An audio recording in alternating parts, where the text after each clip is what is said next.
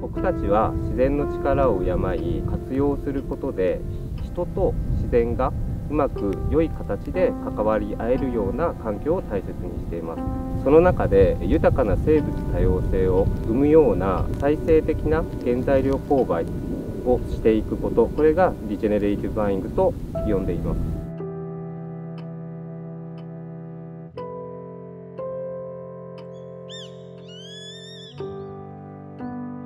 その差し場を守るということは日本の生活であったり暮らしを豊かにすることにつながると考えています。人の暮らしを豊かにすることで生物を守れる生物と共に生きられるっていう環境を作ることが大切だと考え差し場プロジェクトを始めました。差し場はあの鷹の仲間です。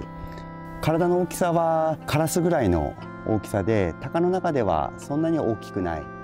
鳥ですね。ここはあの差し歯のいる八つだとか八戸って言われるところなんですけども、まあ、こういったあの里山が大好きな鳥で、まあ、ここで子育てをします。3月の半ばから4月ぐらいに南の東南アジアフィリピンとかあの辺りから渡ってきまして、まあ、ここで子育てをするんですけども、まあ、カエルとかですねヘビとか田んぼやその周りにいるような小さな生き物たちを食べて暮らしてます。こういった場所がなくなってくるとサシバはそこからいなくなるんですね。そういった意味でそのサシバっていう鳥はこういう里山のシンボル的な鳥なのかなというふうに思ってます。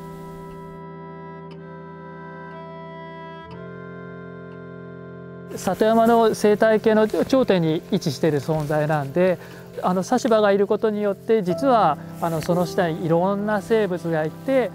豊かな生態系のピラミッドが形作られているそのシンボルだと思うんですよね。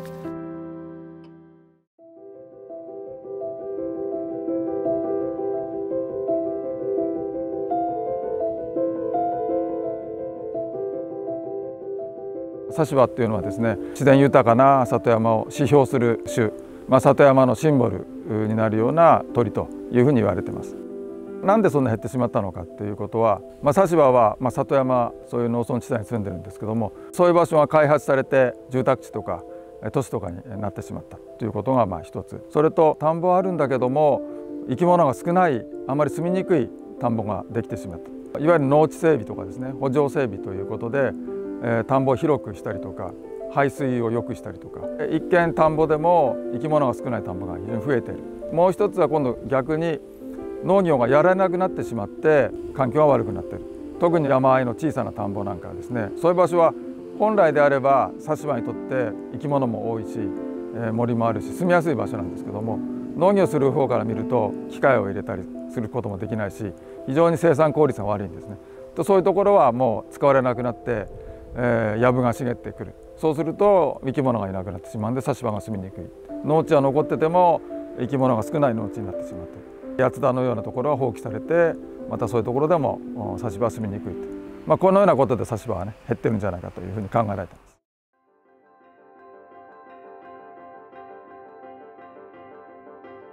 里山は日本各地の地域ごとの地形や気候風土そういうものを人が生かして利用することによって生まれてきた自然環境です。人は田んぼでお米を作ったり雑木林で木を切って燃料にしたり落ち葉を肥料にしたりさまざまな形で自然の恵みとして利用してきたと言えます。人が自然環境を利用することそれが結果的に生物多様性を高めてきた。そのことが日本の里山の大きな特徴です。差し歯がいなくなってきているというのは日本で脈々と受け継がれてきた人と自然が共生する里山の形というのが少しずつ変わってきてしまっている。それは多様な生き物を育まない場所になってしまっている。ということが言えると思います。サシバがこの上空を飛んだりとかあるいは降りてきて餌を取ってる。そういうあの情景が見られる場所であるほどそこは豊かな生態系がありそしてなおかつまあ里山なんで人間がそういう豊かな生態系を守るあの取り組みをされてらっしゃるんじゃないかなというのをやっぱり大事なんじゃないかと思いますね。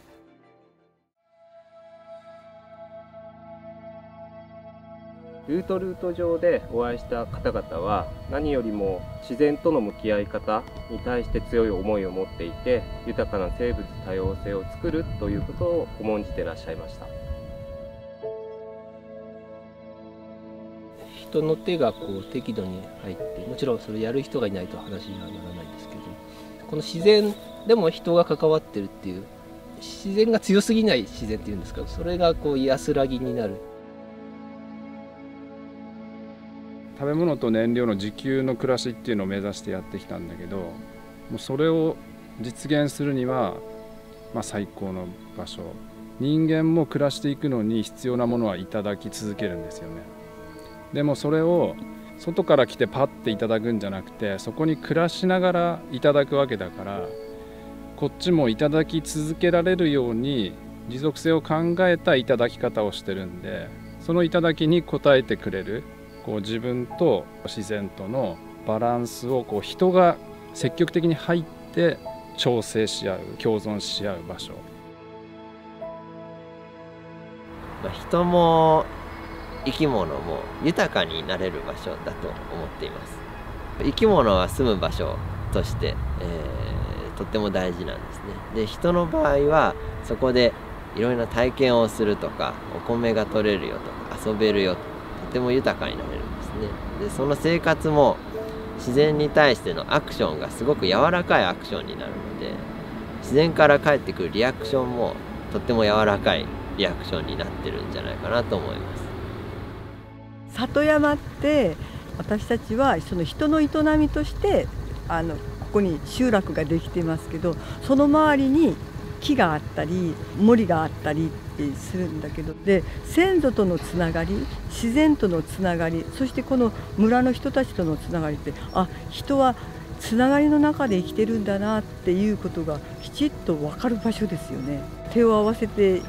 しまいたくなるような風景この稲作文化が育んできた里山だと思う。うん特にあの里山の環境では人間の関わり方がかなり変わってきてしまったんでより生物が生きやすいような環境を保全する生物多様性の高まりがあるようなお米作りをするっていうことはこれから未来にとってもすごく大事なあの役割だと思ってます。人と自然が寄り添うことで人の心って柔らかくなると考えていてその中で生まれる優しさが人と自然をうまくつなぎ合わせて、循環させていくと思っています。差し場を守るということは豊かな里山の恵みを循環させることだと思っていてそれには人の活動というものが絶対的に必要です。そういった柔らかい気持ちから生まれる行動が結果として差場を守ることにつながると思います。今回差し場プロジェクトを通して生まれた商品たちにはそういった気持ちが込められていてそれを一人でも多くの方々に知って、え使っていただけるということで日本各地にある里山に興味や関心を持っていただいて少しでも里山の再生につながれば良いと考えています。